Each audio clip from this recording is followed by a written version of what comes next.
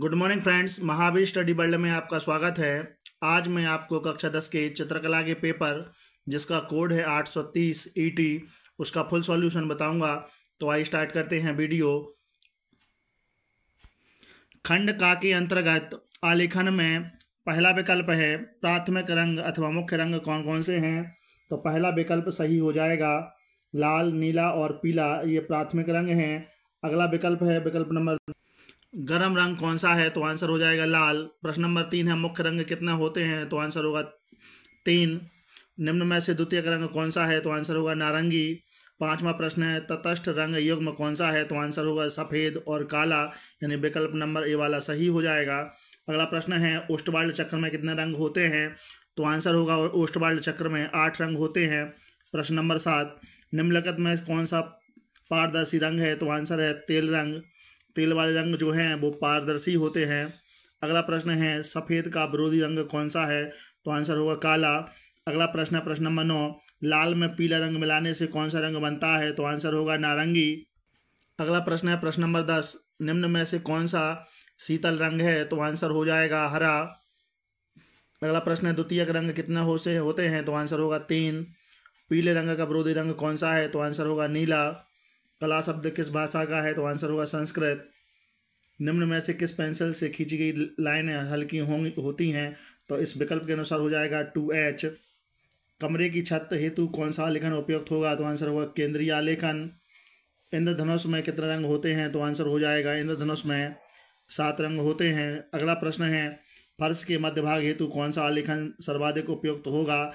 तो इसका आंसर हो जाएगा वृत्ताकार आलेखन। अगला प्रश्न है कपड़े पर रंगाई पेंटिंग हेतु कौन सा रंग सर्वाधिक उपयुक्त होता है? तो आंसर है एक्रेलिक रंग।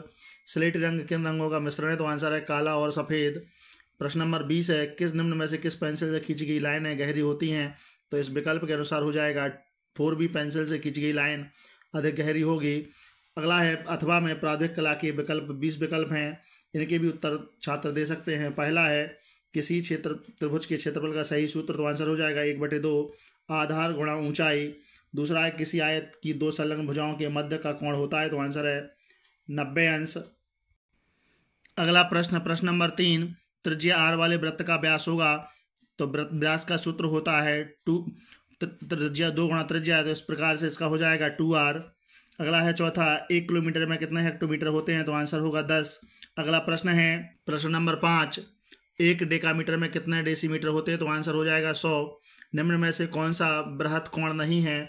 तो आंसर हो जाएगा एक सौ अस्सी अंश वाला बृहत कोण नहीं है। किसी वृत्त का केंद्र सबसे बड़ी जीवा व्यास को बांटता है तो आंसर है दो समान भागों में। अगला प्रश्न है, वृत्त के बाहर किसी बिंदु से खींची गई स्पर्श रेखा, इस पर बिंदु पर वृत्त की त्रिज्या के साथ कितना कोण बनाएगी? तो आंसर है नब्बे अंश। किसी त्रिभुज के बहिष्कोणों का योग होता है तो चार समकोण। सात सेंटीमीटर त्रिज्या के किसी वृत्त का क्षेत्रफल वर्ग सेंटीमीटर में होगा तो इसका होगा सात गुणा सात पाई, यानी वृत्त का क्षेत्रफल का सूत्र होता है टू पाई आर। जी, इस प्रकार से हो जाएगा। अगला है, यदि वर्ग की भुजा की लंबाई एक्स हो तो विकर्ण होगा तो आंसर हो जाएगा पहला रूड टू एक्स। निम्न कोणों में से कौन सा अधिक कोण है? तो जो डी वाला प्रश्न है, तीन सौ दो डिग्री, ये अधिक कोण हो जाएगा। प्रश्न नंबर तेरह के अंतर्गत एक मिलीलीटर, एक मिलीमीटर, एक मीटर का कौन सा भाग है? तो आंसर हो जाए हजारवा। किसी चतुर्भुज के सभी आंतरिक कोणों का योग होगा तो आंसर है चार समकोण। एक ही है या आधार और समान ऊंचाई पर बने त्रिभुजों के आयत के क्षेत्रफल। त्रिभुज और आयत के क्षेत्रफल में सही अनुपात होगा तो आंसर होगा एक अनुपात दो। निम्न आकृतियों में कौन सा चतुर्भुज नहीं है तो बी वाला ये चतुर्भुज नहीं है। अगला है, निम्न आकृतियों में से कौन सी रेखा आ, बा का लंब स्वयं द्विभाजक है? तो बी वाला विकल्प आपका सही हो जाएगा। अगला प्रश्न है निम्न में से कौन सा आकार या गति वृत्ताकार नहीं है तो आंसर है नल से गिरता हुआ पानी। ये वृत्ताकार नहीं होता। एक हेक्टो, हेक्टामीटर में कितना मीटर होते हैं तो आंसर हो जाएगा सौ। अगला प्रश्न है, किसी घड़ी में छोटी सुई पाँच पर हो और बड़ी सुई बारह पर हो तो इन दोनों सुइयों के बीच का कोण कौन सा होगा तो आंसर हो जाएगा अधिक कोण। अगला प्रश्न है, खंड खा के अंतर्गत प्रश्नों के उत्तर देना होते हैं तो पहले के अंतर्गत है इसमें प्राकृतिक चित्रण, जिसमें आपको सिर पर गठरी रखकर घर की ओर जाती हुई एक ग्राम ग्राम की वाला झोपड़ी और घास चरती गाय झोपड़ी और घास चरती हुई गाय तथा आग में उड़ते हुए पक आकाश में उड़ते हुए पक्षियों का चित्र बनाना है। इसी के अथवा में आलेखन के अंतर्गत किसी भारतीय पुष्प के चित्र को आपको कलियों, पत्तियों सहित आकर्षण से सजा के उसको बनाना है। और कम से कम तीन रंगों का प्रयोग इसके इसमें करना है।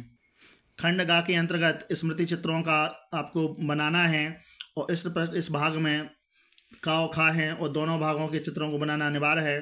तो पहले के अंतर्गत पत्तियों सहित अमरूद, प्लेट में रखा हुआ टमाटर, पपीता, पत्तियों सहित बैगन, इन चार पाँच में से, चार में से किसी एक चित्र को बनाना है और खा के अंतर्गत इस एक स्मृति चित्र को पेंसिल से बनाना है, जैसे कप और प्लेट, सुराही गिलास, लालटेन और खुली किताब, इन चार में से किसी एक चित्र को बनाना है। यानी ऊपर वाले इन चार में से एक चित्रों को बनाना है और नीचे वाले इन चार में से एक चित्र को बनाना है। इस प्रकार से यदि वीडियो आपको अच्छा लगे तो वीडियो को लाइक करें, चैनल को सब्सक्राइब करें और बेल आइकन दबाएँ, जिससे आने वाली वीडियो की नोटिफिकेशन आपको सबसे पहले मिल सके। जय हिंद।